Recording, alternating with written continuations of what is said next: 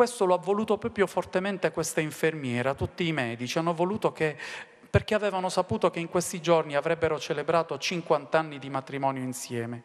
E nonostante intubati eh, con le maschere, eh, ecco, con questa vita che lotta tra la vita e la morte, hanno avuto la possibilità di tenersi mano nella mano.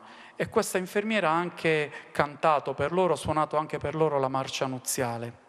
Ecco, questo credo voglia Mm, può significare davvero, può essere un esempio di che cosa voglia dire oggi l'Evangelista Giovanni a noi, quando ci dice che chi non obbedisce al figlio non vedrà la vita.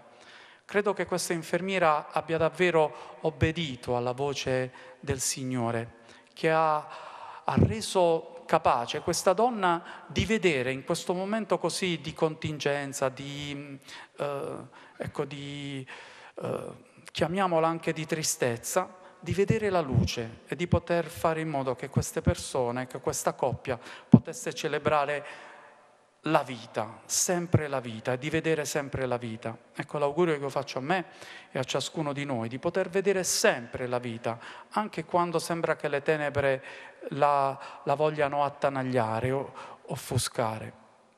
O Signore, donaci il coraggio di affrontare la prova, la prova della croce Dopo la tua risurrezione, dopo che tu l'hai abbracciata volontariamente, la croce è diventata una scala che ha messo finalmente in comunicazione il cielo e la terra. Nella croce, illuminata dalla tua risurrezione, saremo capaci di obbedire alla tua voce, daremo ascolto a tutta quella vita che viene dall'alto e che vive nelle cose di questa terra. Donaci di capire quanta vita c'è insieme a te.